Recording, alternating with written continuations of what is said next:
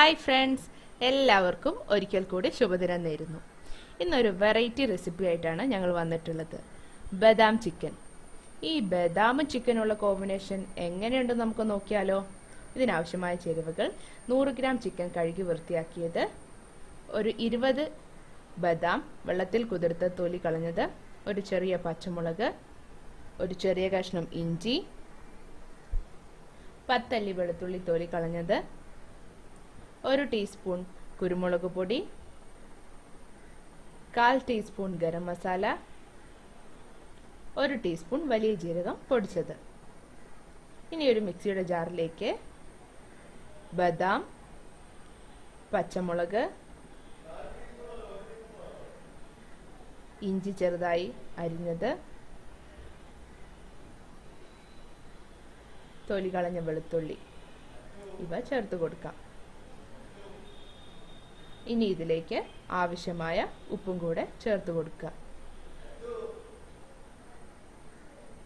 ഇനി ഇതൊന്ന് പേസ്റ്റ് ആക്കാൻ വേണ്ടി ഒരു രണ്ട് ടേബിൾ സ്പൂൺ വെള്ളം കൂടെ ചേർത്ത് കൊടുക്കാം ഒരുപാട് ലൂസ് ആവണ്ട ഒരു പേസ്റ്റ് രൂപത്തിലായാൽ മതി. ഇനി നമ്മൾ ചിക്കനിലേക്ക് നമ്മൾ അരച്ചെടുത്ത പേസ്റ്റ് ചേർത്ത് കൊടുക്കുക. എന്നിട്ട് നല്ലോണം ഒന്ന് മിക്സ് ചെയ്യുക. അതിന് ശേഷം അതിലേക്ക് കുരുമുളക് പൊടി വലിയ ജീരകം പൊടിച്ചത്. ഗരം മസാല ഇവ ചേർത്ത് കൊടുത്തതിന് ശേഷം നല്ലോണം മിക്സ് ചെയ്യുക.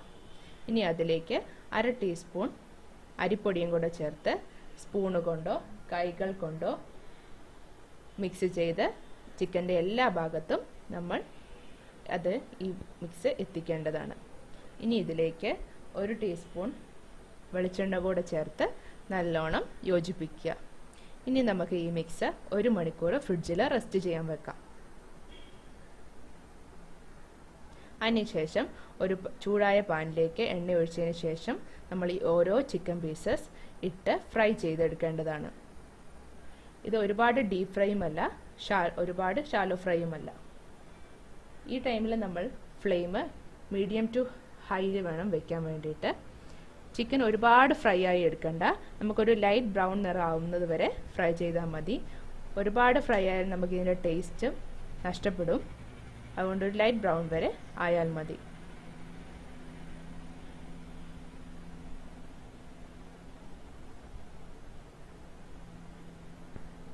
ഏകദേശം ഈ ടൈം ആവുമ്പോൾ നമുക്ക് ഇത് പാനിൽ നിന്ന് മാറ്റി സെർവ് ചെയ്യാവുന്നതാണ്. ഇതൊരു അടിപൊളി ഡിഷാണ്. നിങ്ങൾ തീർച്ചയായും ഇത് ട്രൈ ചെയ്യണം.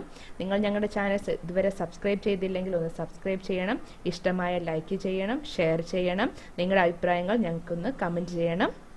താങ്ക്